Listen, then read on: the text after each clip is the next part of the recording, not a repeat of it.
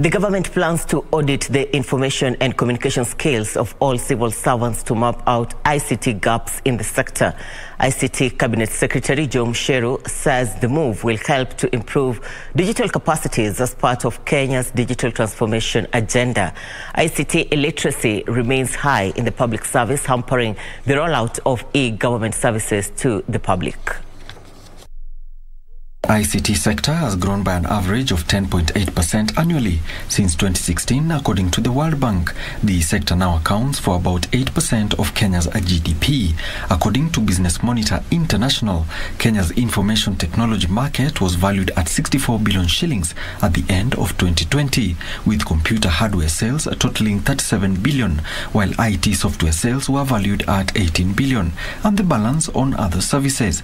The digital economy blueprint launched in 2019 seeks to deepen the use of ICT services in the public sector and increase investments in the industry.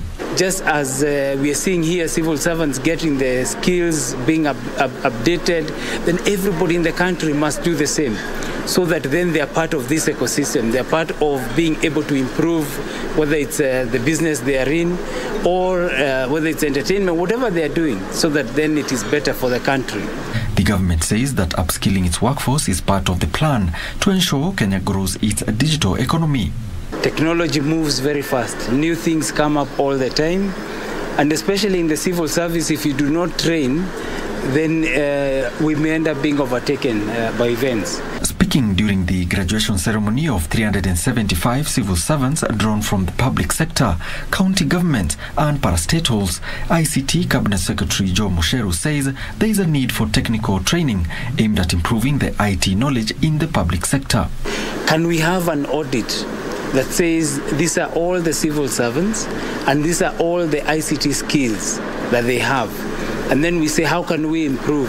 Over the last two years, there has been tremendous growth in the use of ICT, consequently causing a ripple effect in the digitalization efforts not only in government but also within the private sector. However, Kenya's growing ICT sector still faces the daunting task of safeguarding against vices such as cybersecurity and information security, which the government says it is addressing.